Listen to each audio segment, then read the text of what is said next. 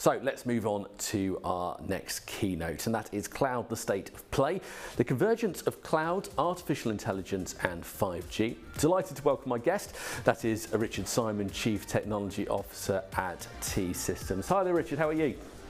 I'm fine. How are you guys doing? How's it been going so far? It's all going very well so far. We've had some lovely feedback, so let's keep that going. Let's keep the pace up. Um, I'm sure you've got a lot to get through, so the virtual floor is yours, sir. Excellent. Thank you very much. Well, it's a tremendous pleasure to, to be able to be doing this uh, keynote talk to, uh, to, everybody. I hope everybody's been having a good uh, a good session so far. Uh, so yeah, as um, uh, as it was uh, said, my name is Richard Simon. I work as a Chief Technology Officer for T Systems International. Uh, T-Systems is part of Deutsche Telekom, the German telco giant. So this particular presentation is going to focus really on um, kind of just looking at some of the key trends that have been happening around cloud, uh, AI, and 5G recently, and kind of how we can maybe potentially see the, the convergence of these and what are some of the uh, kind of key factors causing that. So uh, for those who don't know, I am um, uh, been in the IT industry for over 33 years. Uh, I've worked various different types of roles in the past. So I always like to kind of just do one type of job. So I've done everything from systems engineering to architecture uh, to consulting and now uh, as, a, as a CTO. Uh, worked for a number of uh, prestigious um, uh, uh, system integrators and, and technology vendors, the likes of IBM, SUSE, Worldwide Technology, Casino, etc. And I'm very much a cloud native and sort of open source advocate. So I like to really kind of uh, promote those technologies, promote um, uh, those sort of communities, and be able to uh, do things like conference speaking, uh, and also do a little bit of YouTube as well. So I'll um, provide a little bit more detail on that later on. Okay, so let's get cracking. So as we said, we'll kind of focus on the cloud landscape for our agenda. I'll move on to kind of AI and where AI sort of come in, what's happening with AI recently, uh, and why kind of the, the, you know the interest in the last sort of 10 to 12 months in AI, uh, and also look at the role of 5G 5G and what kind of 5G is going to be able to uh, to offer us, what it's already doing, and what the potentials are sort of going forward into sort of you know the um, the rest of the 2020s and, and, into the 2030s, and then we'll draw some conclusions, uh, and I promise to try and give you some time to do a bit of Q and A towards at the end, so get your questions ready. Okay, so the cloud landscape. Um, so I think there's a clear sort of uh, progress happening uh, in the area where uh, you know customers are moving and enterprises are moving to public cloud. Uh, so we're seeing an enormous drop in on-premise solutions. So all the on-prem data centers and so on are being consolidated. Uh, there's a little bit of sort of off-premises happening, so that's kind of uh, being offered as an alternative. But clearly, the public cloud is kind of the uh, the main area where everybody's really heading towards. Uh, and the the other interesting thing is that it's actually a multi-cloud environment. It's not just one public cloud, but it's actually multiple clouds uh, that uh, that enterprises are adopting. Obviously, this brings a huge amount of challenges for IT. I'm not going to go through all the, the list here, but suffice to say, there's a you know uh, IT's got this kind of its work cut out for it. Everything from sort of a mobile workforce to digital transformations, how we um, migrate applications into the cloud, uh, and how we do all of that in a sort of in an agile uh, and secure way, uh, and how do we uh, keep costs of cloud down as well. That's really important as well. That's also come up in the last uh, 12 months uh, as a as an important factor. So all of this kind of really transitions as we go from you know from cloud into into the sorry from data center into the public cloud. So clearly, our class strategy has to be a little bit more clever than just being on the back of an envelope. We have to kind of look at our strategy a little bit more detail. We have to step back, look at the overall picture, uh, draw an operating model, a future operating model, or a cloud operating model, uh, and include various aspects that will help us uh, to achieve that strategy. So things like a cloud center of excellence, or a FinOps approach to, to how we do cloud costs, for example. So all of that goes towards our uh, cloud strategy. The other area that we've seen a lot of change in is in um, kind of how you develop applications. So we've kind of gone from the monolithic applications that we had in the data center to uh, more cloud native applications. That's how we ought to be developing applications going forward into the cloud. So clearly, DevOps has been there for some time. It's kind of a, a methodology of how we develop applications in the cloud that are cloud native. But we've also seen some challenges to DevOps happening as well. Uh, so the rise of things like GitOps, which focuses more around the, the Git uh, as a repository, as a single source of truth, and platform engineering, which kind of gives you the standards uh, for how you should be doing uh, sort of your development work and some of the frameworks and uh, some of the tool sets that are being used in that space. So again, lots of uh, changes there happening in that DevOps space. It's no longer just kind of a uh, you know a focus on DevOps tools uh, and processes, but also how you actually do that with frameworks and and um, sort of you know set set tool sets as well. Okay, so what's happening in AI? Well, I think one of the questions I really wanted to ask, and I've been kind of asking myself this the last 12 months, is why why AI now? What's been the explosion? Why ChatGPT has happened, you know, sort of in the last 12 months? Why has it, you know, not been something that we've been able to achieve in the past? Clearly, the tools have been around for a long time. So all the kind of open source software and technologies and so on that we've uh, you know we've had for uh, AI uh, and ML has been around for a long time. So why ChatGPT now? So just looking beyond the headlines and kind of the the, the scary stats that people have put out, uh, I think it was important to kind of understand where we're coming from, why you know is things like ChatGPT become sort of popular recently, and these kind of la large language models and so on uh, that have been uh, sort of introduced into uh, you know into the uh, uh, into the public. Okay, so the, the main answer really is because of this, um, or at least one of the answers, is this transformer technology, this new model and way of uh, learning uh, for computers to actually learn uh, how to do AI and how to do uh, machine learning uh, capability. Uh, I won't go through the details of you know of, of the chart, but suffice to say, it's basically given a kind of a breakthrough in terms of how machines can actually learn, pick up on certain keywords using this sort of uh, trans, in a transformer model uh, and this sort of attention mechanism, as it's called, uh, that allows you to basically focus on um, certain keywords and, and create um, vectors and key terms for those uh, or key codes for those uh, you know particular words that we want to focus on uh, in things like natural language processing platforms, which then uh, lead on to things like generative AI uh, capabilities. So Transformer, that's the kind of one of the new learning models that's sort of appeared on the scene. It was introduced by Google back in 2017. Um, and that's kind of really been one of the factors driving uh, the uh, sort of the success, the recent success that we've seen uh, in AI. The other one is purely investment. So it's basically uh, the likes of Microsoft investing in OpenAI, and that investment, you know, goes back some time. It's not recent. It was actually done back in 2019. Uh, so although ChatGPT kind of came on the scene, was released late last year uh, in 2022, uh, actually the investment by Microsoft, which is effectively giving OpenAI the compute capability of Microsoft Azure. That's the, the Microsoft public cloud. Uh, that's been done for some time. That was actually done way back in 2019. So clearly, investment uh, has also been one of the factors of why we're seeing kind of the um, the enormous success of um, uh, of cloud recently. So that was back in 2019. Microsoft invested $1 billion in, in OpenAI, the company that uh, created uh, ChatGPT. Uh, and obviously, uh, after the, the success and the announcement of that late last year, as we said, um, there's been other leaps kind of in terms of you know Microsoft uh, integrating uh, ChatGPT and OpenAI's uh, platforms and solutions into uh, know, into their cloud uh, platforms as well. Uh, and again, that obviously culminated in a further $10 billion investment by Microsoft and OpenAI earlier this year. So um, as we said, the the why now I think question has been has been answered. So we have uh, a technology, the transformer technology, that's kind of associated with that. Um, OpenAI having the the vision to kind of produce uh, that kind of la large language model, uh, uh you know, platform. Uh, and then the likes of Microsoft actually investing uh, investing that. Obviously, others have also done the same, the likes of Google and so on.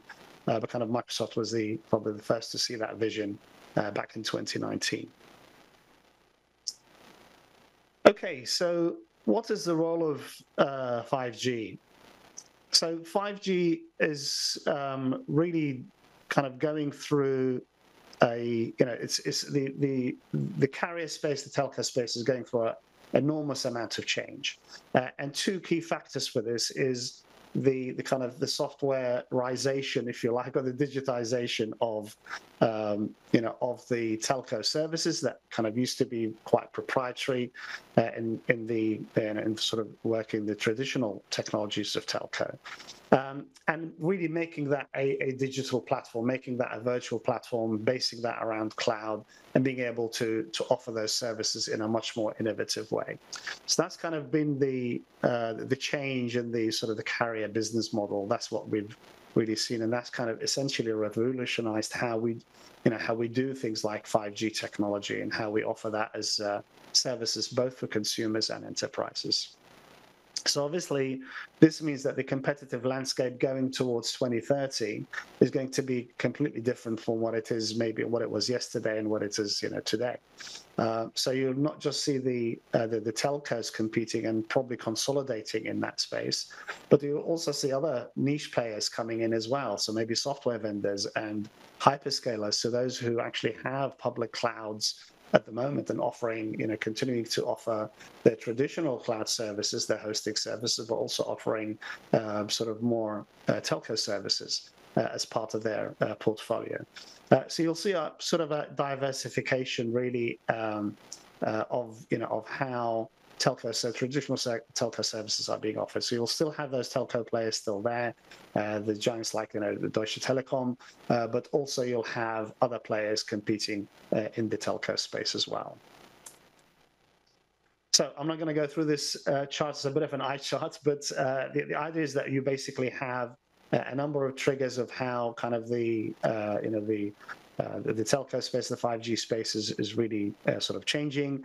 Uh, and that kind of has an enormous sort of explosive effect going on to uh, how the, the market has actually responded by digitizing everything, uh, to looking at the various sort of markets and, and, and verticals there. So things like manufacturing, energy, agriculture, etc. Uh, and looking at kind of what technologies can actually address those. So everything really from you know 5G to upcoming things like 6G to edge computing, IoT, um, business intelligence, uh, big data uh, and uh, high performance computing, and various other technologies, including AI, obviously coming in to uh, augment all of that as well. Uh, so clearly, kind of these mega trends will, you know, will lead to uh, many more changes in the telco space, and we'll see that that will actually uh, kind of be not just morphing but also innovating as well in terms of the the types of services that will be on offer uh, in the telco space.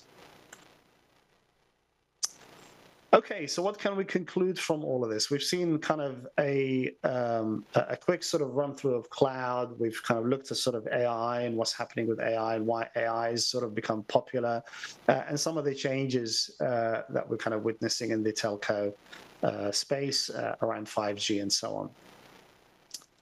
So, what is the convergence point uh, for all of this technology?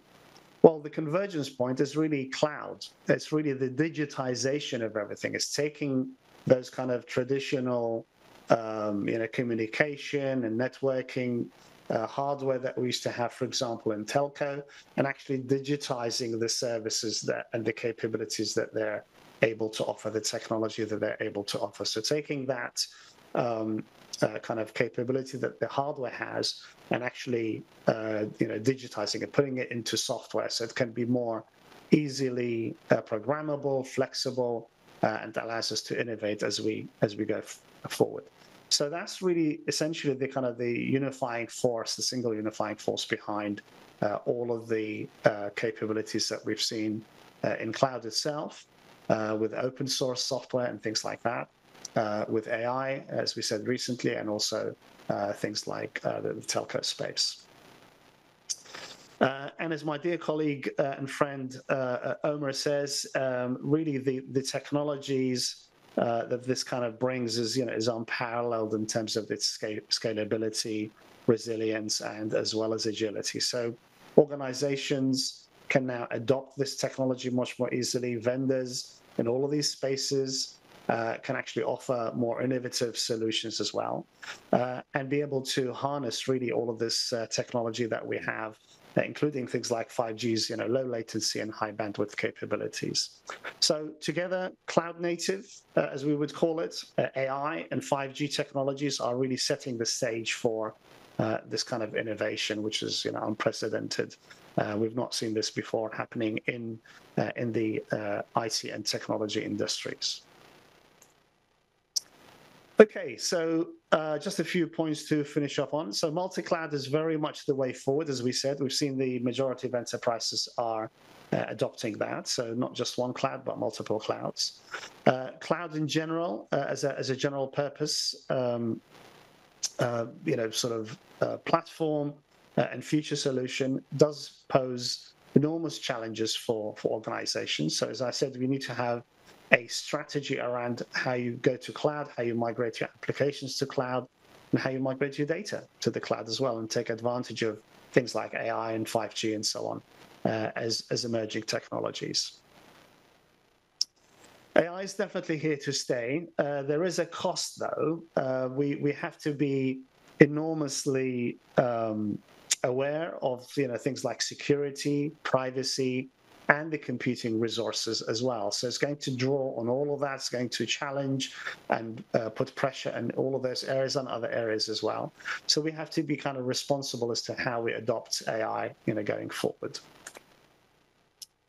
And then um, 5G, 5G kind of, you know, again, enormous potential uh, in, you know, in various verticals. Um, but again, still some way to go in terms of how it's kind of regulated, uh, how, how, you know um, uh, standards can be uh, adopted uh, using 5G and how we can actually harness 5G and beyond going forward in in our enterprises.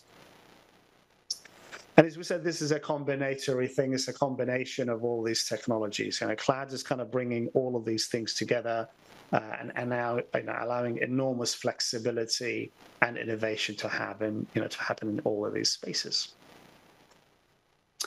Okay, so that's my presentation. I hope you've found that useful. I appreciate it's been kind of a, a, skim through. If you have some questions, I'm more than happy to, to take those. Just one final reminder, as I said earlier, uh, I do have a YouTube channel uh, called The Cloud Therapist. So if you're interested in hearing more about all these things, uh, jump onto YouTube and have a look at that. Feel free to subscribe to the channel. I do various things like uh, interviews and debates and demos and things like that, and talk about all different types of uh, cloud topics as well. Thank you very much. I hope that's been useful. Uh, if there's any questions, I'll hand it back to you. Okay, Richard, that, uh, that plug was both shameless and subtle. I liked it. nice plug at the end for the YouTube channel. Okay, a couple of questions if, if I could. Picking up on what you were saying about the convergence point, do you feel the unprecedented amount of progress and development has become because of that convergence point between all these different types of technologies? Yeah, definitely. I think the. I mean, my opinion is that uh, the this convergence, I think, is is first of all unavoidable, but also the you know the the enormous leaps that we've made in, as I said, digitizing those sort of functionality that we had in hardware before in proprietary hardware. So, so things like um, you know sort of um, you know telco. Uh, uh, sort of switches and routers and things like that that were kind of very much you know, focused on uh, sort of a hardware solution. All of those have been digitized. All of those have been virtualized. So things like network function virtualization, for example, which is a uh, uh, you know, a, a, huge part of kind of how you, you know, virtualize those uh, uh types of uh, functionality, uh, you know, happened back in sort of 2017, 2018. so, you know, we've been able to actually offer that type of thing in a in a in a cloud environment, you know, way back then. So, uh, that has certainly helped that and, and developing those things, moving those uh, that functionality into software uh, has given us that uh, innovative uh, edge. And one final question, if I can, because I, don't want to dig into too much detail, because we are welcoming you back uh, fairly shortly after the networking yes. break for the panel discussion. So I don't, I don't want to exhaust you too quickly. But one word you use, which is something I'm hearing a lot of cloud and tech leaders use increasingly when it comes to AI, and that's augmentation. It really feels like a word that's being used more and looking at AI from a slightly different direction. Do you, do you feel that augmentation of existing capabilities is really the value and the direction that AI is taking us? Um, it is, and I, I mean, there's enormous, I think, um, you know, advantages of how kind of you know can augment AI into, um, you know, into existing uh, sort of technologies and platforms and you know solutions out there. I mean, I, I give you a very quick example. Um, the, the, way that you monitor applications in in a cloud environment is called observability. So this kind of comes from what we used to call sort of systems management and service management back in back in the sort of the data center. And one of the things that emerged in the last sort of few years is the um, because the, there's so much resources in cloud, we you know the, your sort of poor average tech support person and cloud ops person is not really able to you know take uh, you know be able to um, uh, you know look at all of that. So one of the things that uh, has emerged is called AI ops. So that's actually applying AI in the in the space of operations, so we can actually detect problems, you know, with our cloud environments much more quickly, much more easily, and also to be able to actually address those issues as well. So with the aid of AI, you know, cloud ops teams and SREs are able to actually, uh, you know, cope with uh, problems and failures and issues in their cloud environment in a much more clever way. And that is a very good way of breaking it down. Well, I'll let you have a break now, Richard, because we are welcoming you back fairly shortly for our next panel discussion. Thank you so much for your time on, on that keynote, and we'll be uh, welcoming you back very soon. Pleasure. Thank you very much. Thank you very much indeed.